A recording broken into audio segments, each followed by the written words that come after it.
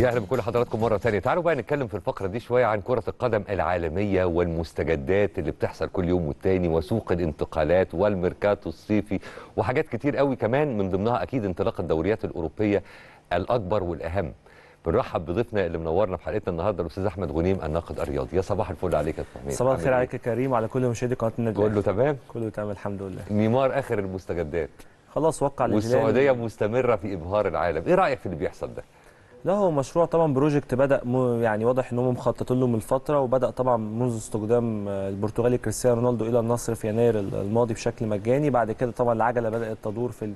لكن طبعا العجلة ضربت بشكل بصراحة لم يكن أحد يتخيله بهذه. السرعة طبعا الصفقة في وجهة نظري أهم صفقة وأهم.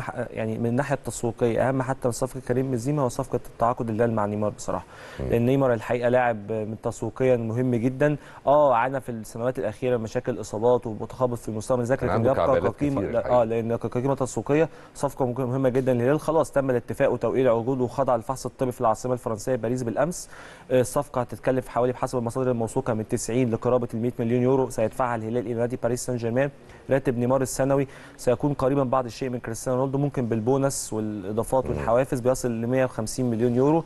عقد لمدة سنتين يتبقى فقط الإعلان الرسمي يا لها المتوقع- بالحوافز يا أبو حميد. بالظبط يا لها بنت- عندنا لما بتقول كلمة حوافز بنتكلم في 400 جنيه. يعني عادة المصطلح ده في عالم الموظفين بيبقى الرقم كده. انت بتتكلم في حاجة عايز أقول لك يا كريم يعني الهلال يعني بعد يعني في, في, انتظار إعلان صفقة نيمار اللي هو خلاص وقع العقد آه. آه. الهلال الهلال بات أول فريق في تاريخ العرب وفي تاريخ قارة آسيا.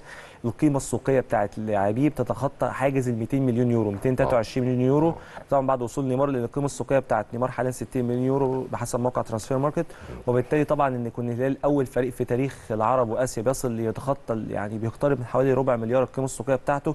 دي عمرها ما حصلت. بالمناسبة الهلال من أكتر الأندية حاليا يعني بعد صفقة نيمار هيبقى من أكتر الأندية انفاقا في الميركاتو مع تشيلسي. طبعا لأن تشيلسي كمان يعني عامل صفقة تاريخية بالأمس. مويسيس كاسيدو أغلى لاعب في تاريخ الدوري الإنجليزي بحوالي 115 مليون استرليني. لكن صفقة نيمار صفقة مهمة جدا من الناحيه التسويقيه للدوري السعودي آه، مفيش إعارة لبرشلونة. كل ما أثير عن هذا الأمر ال- الهلال هي إن هو هيجي يلعب الهلال احتمال حتى يلعب مباراة الفيحاء في الجولة الثانية من الدوري السعودي يوم السبت المقبل بإذن الله. احتمال كبير يكون متواجد في القائمه لسه مش عارفين. لكن بالتأكيد في حفل استقبال ضخم ليه في العاصمة السعودية الرياض آه، بيكون بحضور حوالي أكتر من 70 ألف متفرج. متوقع إن حفل الاستقبال ممكن يكون بكرة وممكن يكون بعد لسه مش عارفين. لكن بنسبة كبيرة جدا الاعلان الرسمي عن الصفقة سيكون مساء اليوم بإذن الله. في اليومين اللي فاتوا كلمة أو عبارة منفتح على اتكررت في واقعتين.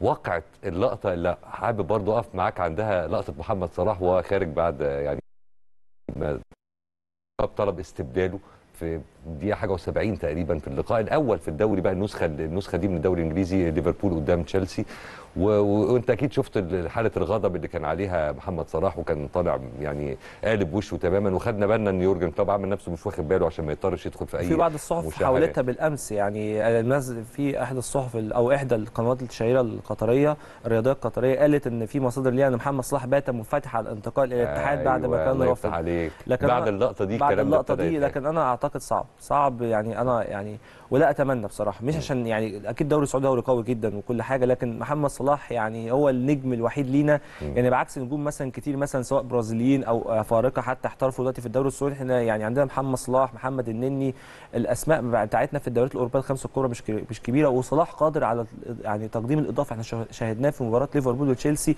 هو اللي صنع الهدف بتمريرة ساحرة لويس. دياز وكان قريب جدا من تسجيل هدف وكان كان يدخل يعني تاريخ البريمير ليج كأول لاعب بيسجل أكتر عدد من الأهداف في الجولات الافتتاحية بتاريخ المسابقة بشكلها الحالي لكن طبعا هو قرار كلوب قرار خاطئ لكن برضو عشان أكون يعني أمين مع نفسي امين مع السادة المشاهدين برضو ردة فعل صلاح يعني كان المفروض هو لاعب مبالغ فيها سنة. آه مبالغ فيها سنه كان المفروض يبقى فيه control أكتر طب من ليه كده القرار كان خاطئ في في رأيك؟ يعني هو في الآخر يعني هو نفسه يورجن كلوب نفسه قال في المؤتمر الصحفي ما معناه ان آه طبعا محمد صلاح ما معناه إنه ظاهرة كروية ومحطم للأرقام القياسية لكن في الآخر أنا المدير الفني بز... ما هو هو بالتأكيد ما هو لا- كلام موزون برضه بالظبط هو ك- ككلام كلوب كلام محترم جدا لكن آه. ك- كقرار فني لا أنا مختلف معاه لأن أنت ليه؟ التبديلات اللي نزلتها أصلا مش تبديلات هجومية أنت أنت واحد واحد وأنت خارج بموسم ماضي صعب جدا وبتبدأ قدام تشيلسي وفي ملعب تشيلسي وعايز ت- تحقق مكسب تقول للناس أنا موجود والموسم ده هيبقى مختلف عن الموسم اللي فات ويكون بدايه قويه طبعا دي مش مؤشر على الموسم ده لكن أنا بتكلم أنت كنت عايز تحقق الانتصار محمد صلاح هو اللاعب الوحيد حاليا القادر على إحداث الفارق في ليفربول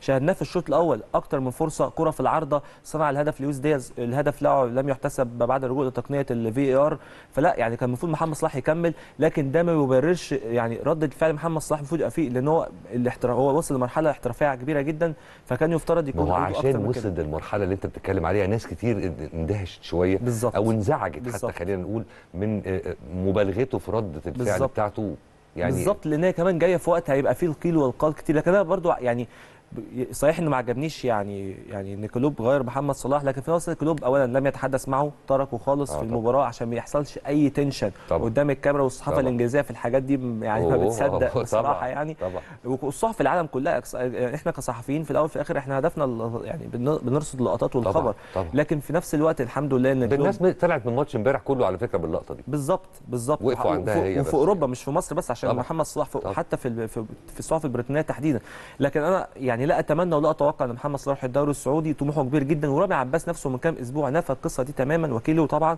وقال إن إحنا يعني مستمرين مع ليفربول حتى على الأقل حتى نهاية العقد في 2025 وأنا أتمنى ذلك بإذن طيب الله. طب دي لما عبارة منفتح على الدوري السعودي آه، ما اتقالت على محمد صلاح. نفس الكلام اتقال في إطار مختلف حبتين عن مبابي.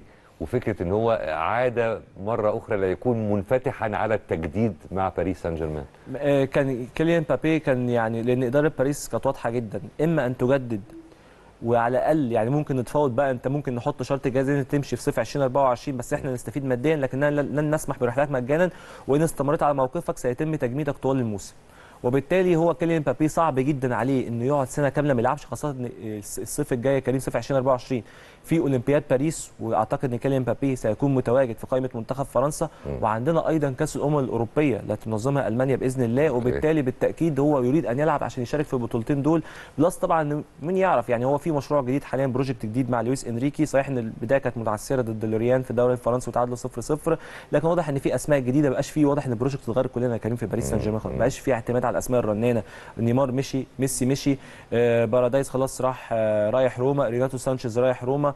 ماركو فيراتي مش عارفين حتى الآن إذا كان هيروح للهلال ولا هيبقى لكن باريس سان جيرمان منفتح على بيعه لكن بمبلغ معين الهلال السعودي لسه مش عارفين هيمشي ولا يقعد فلا يعني واضح إن في project جديد لباريس سان جيرمان فأنا أعتقد إن آه، كيليان مبابي خد القرار السليم وأعتقد إن ممكن نشاهده. طبعا لسه حتى المفاوضات لسه يعني ما انتهتش أو مش عارفين نجحت أو فشلت. لكن أنا أتوقع إن كيليان مبابي سيتم يعني ممكن يتم تجديد عقده 2025 مع وضع بند شرط جزائي بيسمح ليه الرحيل في 2024 مقابل مادي بمقابل مادي وأعتقد ده ممكن يكون حل مرضي لجميع الأطراف. فكرك الكلام ده ممكن يحصل بعد ال- ال- الضغينة المعلنة واللي شفنا لها مظاهر كتير بينه وبين آه، ناصر الخليفي بالظبط. يعني لكن هو في الأول وفي الآخر هم ناس professionals وكل واحد بيدور على مصلحته. كيليان مبابي يعني إن استمر الموسم ده هياخد مكافأة الولاء واخد الجزء الأول القسط الأول منها 40 مليون يورو ويتبقى 40 مليون يورو ليه أخرى هياخدها في 31 أغسطس إن شاء الله.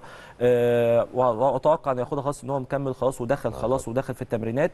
ناصر الخليفي كرئيس نادي وكرجل اعمال هو بيبص على مصلحته وعايز يحقق أكبر مكاسب. هو قال لن أسمح برحيل يعني هو كان من مصلحته إنه يخبط التخبيط اللي شفناه ده في مبابي أعتقد جاب أو تسمارو يعني أو تسمارو بدليل إن كيليان مبابي رضخ. وأعتقد إن في كلام إن هو ممكن يجدد عقده 2025 حتى لو هناك شرط جزائي. لكن بالتأكيد النقطة ال key في الموضوع كله إنه لن يسمح برحيله مجانا وإن باريس سان جيرمان يحقق مكاسب ماليه من وراء بيعه. من ضمن الأخبار اللي أنا كنت بقولها للمشاهدين في حلقة النهارده كان منهم خبر حلو. أكيد خدت بالك منه وأكيد عرفته حتى من قبل كده بفكرة انتقال لاعب مصري للبريمير ليج وهو عنده 17 سنة أستون فيلا لما تعاقد مع عمر خضر لاعب زاد أف سي. بص الواحد انبسط يعني عارف فرحت كده وحسيت إن دي إيه تنديعة لحاجة حلوة جاية إن تجربة محمد صلاح ممكن نشوف لها يعني وعمر فايد كمان. تشوفها عمر فايد مدافع معلش. المقاولون على قاب قوسين الادنى خاص من انتقال إلى نادي فنربخشة التركي واحد من أعرق الأندية التركية طبعا. يعني نتمنى ده اللي إحنا والله كنت يا كريم بنادي بيه يعني بقالي سنين إن إحنا يا جماعة لازم نفتح الباب لل- لاحتراف اللاعبين في السن الصغيرة ده ده يقوي منتخب مصر لو إحنا عايزين نحقق حاجة في كأس العالم زي ما عمل المنتخب المغرب وزي ما عمل المنتخب السعودية فنتمنى أنا شايف دي خطوة مهمة جدا ليه طبعا هو لسه هيبدأ مشواره إن شاء الله في عش من من لما يوصل سن 18 سنة في من يعني تحديدا من صيف 2024 إن شاء الله إن شاء الله هيبدأ مرحله يعني تجربته الاحترافية مع أستون فيلا. شفناه في صور متصور مع فيليبي كوتينيو أحد أهم لاعبي أستون فيلا. متصور برضو مع أوناي امري المدرب. فأنا إن شاء الله تكون تجربة كويسة ليه ونتمنى يعني أكتر يعني زيادة أكتر عدد اللاعبين المح... اللاعبين المصريين المحترفين في أوروبا. ونشوف أكتر من محمد صلاح مش محمد صلاح واحد. ريت. يعني محمد صلاح عليه 31 سنة يعني. هي كلها خ... يعني طبعا رب يعني ايا كان الوقت اللي يقعده في الملاعب لكن خلاص يعني سنين قليله وحقبته يعني. حقبته. خلاص هتنتهي فإحنا مش عايزين نعيش على ظل يعني على ظل ظل محمد صلاح 50 أو 100 سنة يعني عايزين إن شاء الله يكون في محمد صلاح قادم ومحمد صلاح ثالث ورابع لأن ده اولا كمان بيرفع كمان من شأن البلد يعني طبعا. اللي بيعمله محمد صلاح وتواجد اسمه محمد صلاح Egyptian King. والدعاية دي دعاية بملايين الدولارات لينا. بره مصر بالتأكيد مليون في المية مليون في المية برضو من الأندية اللي كان فيها ناس رايحة وناس جاية و- وقلق في حاجات كتير بايرن ميونخ من ضمن الناس اللي استجدت على بايرن ميونخ آه، طبعا هاري كين آه، مهاجم منتخب إنجلترا اللي انضم مؤخرا لبايرن ميونخ. برضو رأيك في الصفقة دي؟ صفقة تاريخية بكل ما تحمل الكلمة بمعنى أغلى لاعب أغلى لاعب في تاريخ بايرن ميونخ 120 مليون يورو بحساب إضافاته والحوافز أغلى لاعب في تاريخ البوندسليجا تاريخ الدوري الألماني أغلى صفقة بيع في تاريخ توتنهام وبالتالي صفقة تاريخية بكل ما تحمل الكلمة بمعنى وصفقة تساوي دوري أبطال أوروبا لبايرن ميونخ لأن الطموح مشترك بايرن ميونخ بيفتقد للمهاجم الصريح منذ رحيل روبرت ليفاندوفسكي صوب برشلونة في صيف 2022 كان عنده مشكلة كبيرة في دي وساديو ماني ما عرفش يحلها آه وبالتالي طبعاً. هو راح للصيف ده صوب النصر السعودي آه، بنفس الوقت بايرن ميونخ يريد يعني أكيد هو مش جايبه عشان الدوري الألماني لأن بايرن ميونخ واخد 11 دوري ألماني متتالي أيوة. وحتى في غياب المهاجم الصريح استطاع أن يفوز بيه الموسم الماضي صحيح إن طبعا ده كان بسبب أخطاء ساذجه من بروسيا دورتموند في الجولة الأخيرة لكن هو حقق اللقب في الآخر بايرن ميونخ فأنا أعتقد إن ال- ال target الأساسي الهدف الأساسي من يعني من استخدام بايرن- ميونخ لهاري كين هو ال Champions League وفي نفس الوقت الهدف لهاري كين لأن هاري كين يا كريم رغم كل هذه المسيره الأسطورية على المستوى التهديفي والأرقام لم يحقق أي لقب في مسيرته سواء مع توتنهام أو منتخب إنجلترا. وبالتالي رغبه مشتركة وأعتقد إن بايرن ميونخ بشكل مبدئي يعني بصرف النظر عن خسارة السوبر الألماني يوم السبت الماضي ضد لايبزيج بالثلاثية دون رد. ولكن أعتقد يعني مع انصهار آه، هاري كين وانصهار المجموعة ووجود يعني تفاهم أكتر ممكن نشاهد بايرن ميونخ منافس جديا على لقب ال Champions League هذا الموسم. على ذكر نادي النصر السعودي اللي انتقل ليه مؤخرا آخر الوافدين ليه يعني ساديو ماني. وابتدينا نشوف حاجات حلوة كده one two لطيف ما بينه وبين كريستيانو رونالدو. كريستيانو رونالدو يعني كذا مرة قبل كده يتعرض وبصفة خاصة لما بيكون النصر بيلعب الهلال. بتلاقي جزء كبير من جماهير الهلال إن ما كانش الجمهور كله. ميسي ميسي ميسي و- بيستفزوه موت. والغريب إن هو يعني في يعني مثلا مرات بيكتم مشاعره وتحس إن هو يعني محايد في تعبير وشه وأوقات تانية لا بيبان الغيظ على وشه.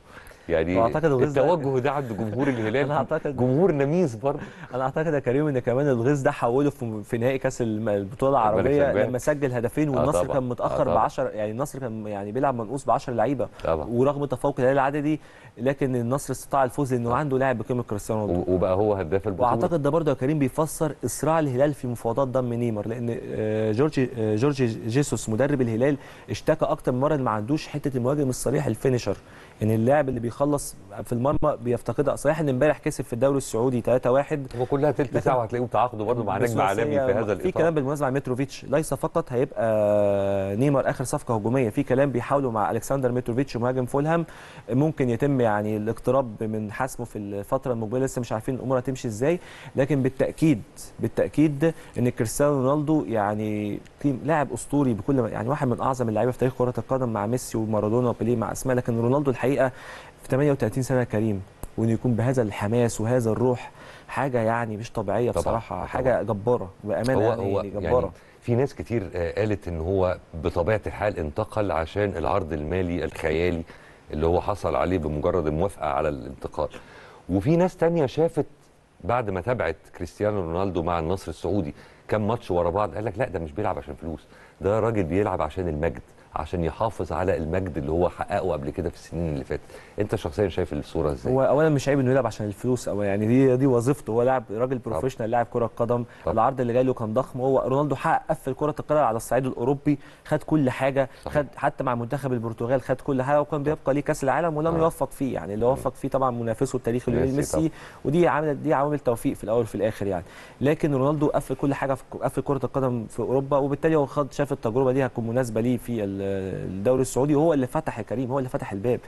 يعني حينما صرح كريستيانو رونالدو ان أنا فتحت الباب إن الدوري السعودي يوصل لهذه المكانة هو كان محق بشكل كبير جدا يعني وبالتالي لا رونالدو الحقيقة لاعب أسطوري لاعب يعني 38 سنة وعنده الحوافز دي والنهم ده والشغف ده بتسجيل أهداف حقيقة يعني بجد والله يعني ده نموذج وقدوة لكل لاعب كرة قدم ناشئ على مستوى العالم مش بس على مستوى هو. ملهم بكل ما تحمله وكلمة بالظبط. ملهم من معنى بالظبط يا كريم طب تعال نروح شوية للدوري الفرنسي و, و, و مش هقف قوي عند باريس سان جيرمان وال- واللي جاي لأن برضو مبهم إلى حد ما يعني الصورة نقدر نقول إن هي مش واضحة لسه قوي ال project بالنسبة- كله جديد يا كريم لسه آه، ال project. كله جديد مدرب جديد أسماء جديدة كتير آه، انضمت آه، ما بقاش في خلاص موضوع سياسة الانفاق على النجوم واستخدام النجوم طبعا. بمبالغ باهظة بقى في يعني استخدامات بالفعل كلهم معظمهم لاعبين صغار في السن فال project لسه جديد فبالتالي الحكم على باريس سان جيرمان من مباراة لوريان اللي تعادلها طبعا. 0 0 ده. يبقى حكم ظالم بشكل كبير. جدا بس إحنا زي ما اللي يخصنا في الدوري الإنجليزي النني و- ومو صلاح بقالنا برضو اللي يخصنا في الدوري الفرنسي ومصطفى محمد مع نانت وعامل شغل يعني أعتقد مرضي ولا أنت شايفه إزاي؟ بالظبط مصطفى محمد سجل آه، هدف آه، يعني ضد آه، تولوز في الدوري الفرنسي. صحيح إن هم خسروا بنتيجة 2-1 آه، ولكن قدم مستويات مرضية بصرف النظر عن هدف سجله من ضربة جزاء لكن هو قدم مستويات مرضية. وده يعني بدليل ان إدارة نانت مقتنعة بيه إن هم حولوا بند الإعارة لشراء نهائي الصيف ده من نادي جالاتا سراي. فإن شاء الله نتمنى التوفيق لمصطفى محمد وفي الآخر ده بيصب لصالح منتخب مصر اللي إحنا خلاص يا كريم إحنا حوالي خمس أشهر تقريبا هنخش في معمعة كأس أمم أفريقيا. والبطوله المقبله النسخه المقبله نسخة صعبة جدا. عندنا منتخب المغرب متحفز منتخب السنغال طبعاً. عايز يحافظ على اللقب. أمال إيه؟ منتخب كوت ديفوار الكاميرون نيجيريا فيها هتبقى في أسماء قوية جدا في البطولة. فبإذن الله إن شاء الله يعني تألق المحترفين ده في صالحنا بشكل كبير جدا. جميل. طيب برضو بقالنا اللي يخصنا في الدوري الألماني اللهم صل على النبي عشان الحاجات دي بتتنظر خلي بالك يا أبو حميد. عمر مرموش مع فريقه ال- الفرانكفورتي. يعني برضو شايف تجربته هناك عاملة إزاي؟ آه، عنده خبرة دلوقتي خلاص عمر مش في الدوري الألماني لعب يعني كان في فولفسبورج ولعب اعاره في شتوتجارت حاليا مع إنتراخت فرانكفورت. بالمناسبة كريم إنتراخت ده هو حامل لقب دوري بطولة ال Europa League في الموسم قبل الماضي.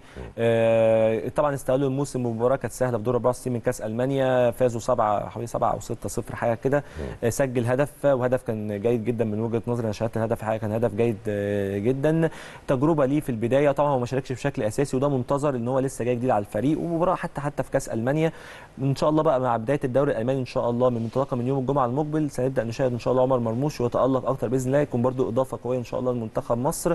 لأن يا كريم دعنا نعترف. المنتخبات الأفريقية ومنتخبات شمال أفريقيا المنتخبات العربية الموجوده يعني موجودة في قارة أفريقيا قوتها في محترفين بالظبط. عشان نكون محت... يعني واقعيين جدا طبعا، يعني- طبعا، بديهي. يعني آه إحنا ممكن آه السنة اللي ف... يعني السنة اللي فاتت وصلنا نهائي كأس أمم أفريقيا لكن بقوة الدفع الذاتي وباسلوب دفاعي محض و... وبدوع الوالدين وحاجات كتير قوي نكون إحنا مع- عندنا نكون- نكون معترفين لكن لكن. إحنا إن شاء الله بإذن الله بوجود محترفين ومع مدرب جيد مثل روي فيتوريا إن شاء الله قادرين على إن إحنا ممكن نعمل شيء. صح إن الظروف صعبة جدا وإن بس عدد المحترفين ده قليل جدا وممكن ما يسمحلناش بالمنافسة في ظل قوة المنتخبات الأخرى لكن مين عارف كل شيء وارد في كرة القدم. طب أنت شايف انعكاسات شوية المحترفين اللي حيلتنا لما بينضموا للمنتخب المصري وبيلعبوا يعني ماتشات في أي بطولة من البطولات؟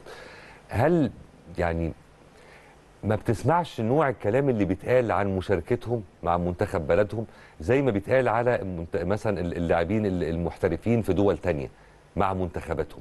يعني حتى محمد صلاح بجلالة قدره كان لم يسلم. بيتقال في في كتير من الأحيان لا ده خايف يدخل على الكورة لا ده بيحافظ على رجليه ده ده مش بنشوفه هنا زي ما بنشوفه مع ليفربول. نفس الكلام حتى اتقال مع عمر مرموش بالمناسبة مع مع الفرق يعني. فليه بنحس بإن يعني حجم الإسهام بتاع لاعبتنا المحترفين مش بالقوة اللي المفروض يكون عليها. يعني فاهم قصدي؟ آه، سؤالك يا كريم مهم جدا على فكرة. كويس إنت اتكلمت في النقطة دي. آه، يعني اولا لما محترفين اللي بيلعبوا في الدوريات الكبرى بيلعبوا في مع منتخب مصر اولا الصحافة الأجنبية بتسلط الضوء عليهم. آه، يبقى في بعض المكشفين واللي بيشوفوا الدنيا ماشية إزاي وبيشوفوا في هل في لعيبة في أسماء أخرى ولا لا فبالتالي ده مهم جدا. اللعيبه المحترفين لما بيجوا أكيد هم عايزين يصنعوا مجد مع منتخب مصر. إحنا شفنا محمد صلاح ومحمد يعني محمد النني والأسماء دي كلها لما كانت بتلعب مع منتخب مصر حماسهم إزاي إن عايزين يحققوا لقب أمم أفريقيا عايزين يحققوا مجد شخصي يعني مم. يعني مفيش لعيب يعني شفنا ميسي رغم كل الإنجازات الأسطورية كريم اللي حققها في. مسيرته فرحته في كاس العالم أكنه ولد طفل صغير لم يحقق أي حاجة في. مسيرته لأن هو رفع علم بلده وأهدى بلده كأس العالم. بعد غياب حوالي أكتر من 30 سنة فبالتالي لا أنا بختلف مع ده بشكل كبير جدا. المحترفين بتوعنا يعني بيجوا عايزين يثبتوا نفسهم. آه في بعض المباريات مثلا تبقى مباريات سهلة هو بيحاول يلعب على قد المباراة وده بالنسبة ذكاء. ده مش عيب فيه إنه في بعض المباريات مباريات سهلة مثلا ضد النيجر ضد منتخبات سيراليون منتخبات متواضعة ضعيفة يعني. متواضعة فنيا. طبعا. هو مش محتاج إنه يرهق نفسه هو بالعكس بيعمل اقتصاد لمجهوده لأن هو كمان رزنامة المباريات عندهم مضغوطة جدا وما عندهمش يبقى في تأجيلات أو حاجة عندهم ضغط المباريات بشكل أنا عايز أقول ضغط المباريات في السنة اللي فاتت تحديدا طبعا. كان صعب جدا بسبب اقامه كأس العالم في منتصف الموسم وبالتالي لا أنا أختلف مع ده كليا اللاعبين المحترفين بيبقوا عايزين يجوا يحققوا مجد مع منتخب بلدهم ولأن مع احترامي لأي مجد مع النادي مع الأندية ايا كان يبقى المجد مع المنتخب البلد ده بيبقى أمر آخر. وده الدليل اللي شفناه مع ميسي في كأس العالم الأخيرة في قطر صحيح صحيح طيب تعالى نرجع تاني للبريمير ليج ورؤيتك للموسم الجديد اللي انطلق أهو بالفعل. هل تعتقد مع نهاية الموسم وختامه آه، ستبقى الصدارة برضو عند آه، السيتي ولا مش شرط؟ مش شرط لا طبعا لأن السيتي كمان عنده مشاكل. آه، السيتي بالمناسبة عنده بكرة مباراة آه، السوبر الاوروبي ضد آه، إشبيليا.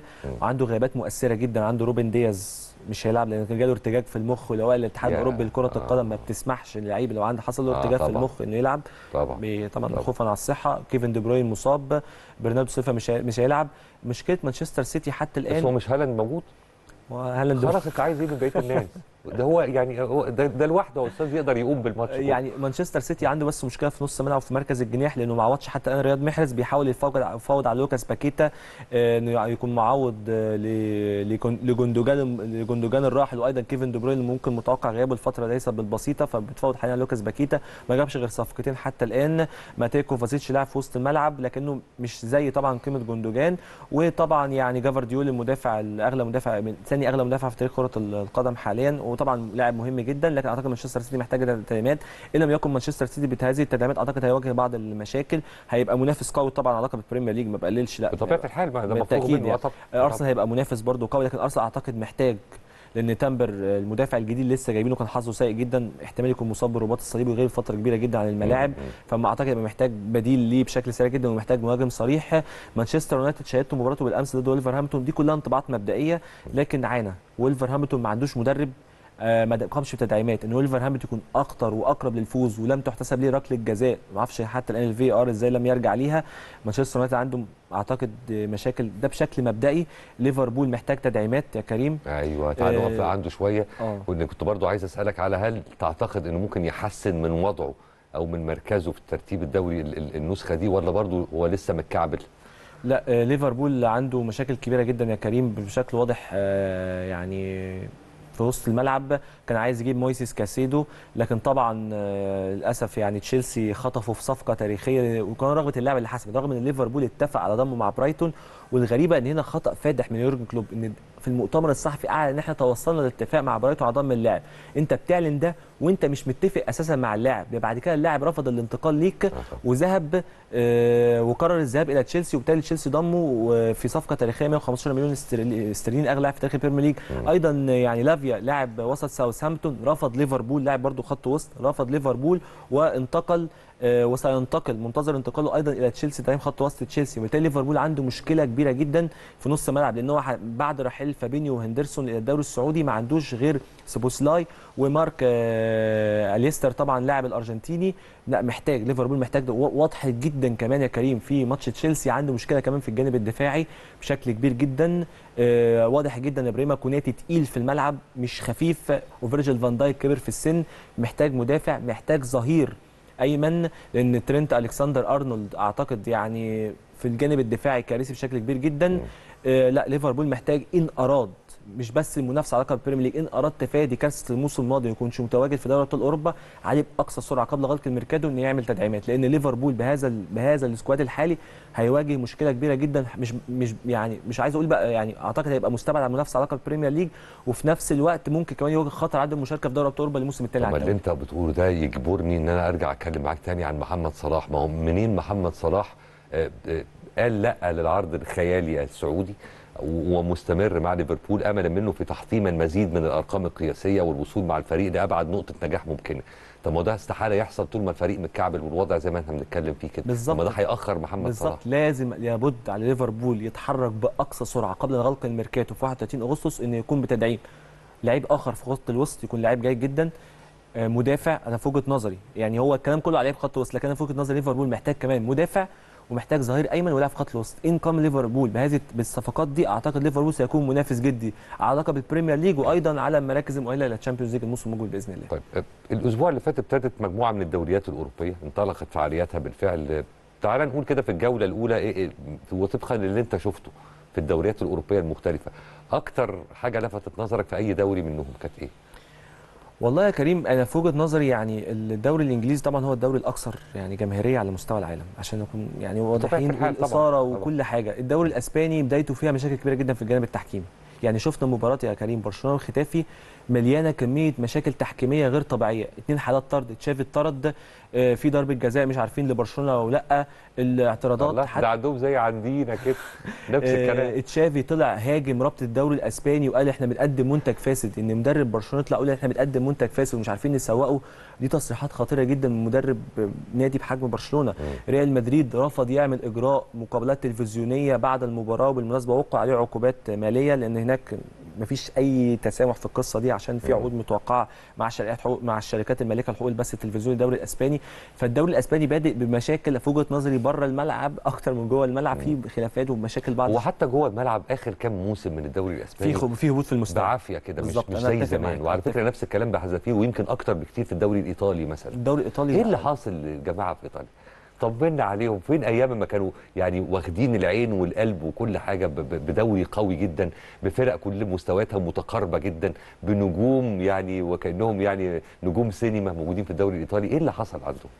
والله يا كريم الدوري الإيطالي مشاكله كبيرة جدا اولا هروب الاستثمارات آه هناك في مستثمرين والأندية مملوكة معظمهم يعني لملاك كانوا أجانب. متعكزين جامد على برلسكوني في. برلسكوني يعني آه بس لا لكن. ال ال أعتقد يعني النق- النقطة الفاصلة كان فضيحة الكالتشيوبولي سنة 2006 وهبوط يوفنتوس والفضائح المالية والرشاوى والتحكيم وما إلى. ذلك الدوري الإيطالي بدأ يتراجع بعض الشيء الاستثمارات قلت لأن الاستثمارات يعني أو البيئة في الكرة الإيطالية طاردة للاستثمار بعكس البريمير ليج مثلا جاذبة للاستثمار بشكل كبير جدا يعني هو كان زمان في استثمار أصلا في ال- الحكاية ومع ذلك كانت الدوريات دي كلها مولعة الدنيا هي تقريبا الاستثمارات دي اللي خربت الدنيا وأنقصت متعة المشاهدة والله يعني يعني في حالات يعني في البريمير ليج شايف الاستثمارات مخليه إن هو دي يعني القيمه التسويقية بتاعته يا كريم ممكن توصل تعدي من أنا مش ببالغ ممكن توصل ل 60 أو 70 مليار مبالغ. خيالية. البريمير ليج وصل لمرحلة حقوق البث. التلفزيوني في سنه واحدة بالخمسة والسته ملي... حاجة يعني خمسة وستة مليار استرليني مبالغ طبعا ضخمة جدا. لكن ده نتاج عمل 30 سنة وده دلوقتي يطبقوه طبعا في الدوري السعودي الدوري السعودي بداية من الموسم ده لكن نرجع للدوري الإيطالي عايز أقول لك يا كريم إن معظم أندية إيطاليا ما عندهاش ما عندهاش ملاعب مملوكة ليها باستثناء يوفنتوس نابولي بيلعب في ملعب تبع البلدية. حاجة تزعل والله. حاجة تزعل. فأنا تم... يعني ده أنا أنا أنا مثلا من مشجعين الدوري. الإيطالي كان طالما ما حط أنا بقول لك أنا من. مشجعين ميلان. أتمنى إن الدوري الإيطالي يرجع كما كان يعني سابق عهده بإذن الله في المستقبل. إن شاء الله. إحنا وقتنا انتهى يا دوب الحق أشكرك. شكر جزيل. نورتني وشرفتني في حلقتنا ده النهارده الشرف ليا يا كريم. على طول بطلع معاك على طول. ربنا يخليك. وأكيد الشكر موصول لحضراتكم مشاهدينا في كل مكان على حسن المتابعة لينا في حلقتنا النهارده. وإن شاء الله بإذن الرحمن يتجدد اللقاء ونشوفكم على خير بكرة بإذن الله. بالمناسبة نسيت أقول لحضراتكم بكرة إن شاء الله هتكون آخر حلقة للبرنامج قبل أسبوع إجازة. إحنا الأسبوع اللي جاي إن شاء الله هيكون إجازة ونرجع نلتقي مع حضراتكم في آخر أسبوع من أغسطس. بس إحنا مع بعض بكرة إن شاء الله. شكرا على المتابعة وأشوفكم على خير. صباح الفل.